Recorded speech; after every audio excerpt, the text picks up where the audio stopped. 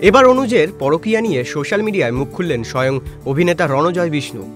একটি পোস্টে তিনি বলেন, অনুজ লোকটাকে তার কাছে পাঠানো উচিত। অনুজ কাজ ছাড়া কিচ্ছু বোঝে না। ভেতরে ভেতরে শুধু গুমড়ে মরছে।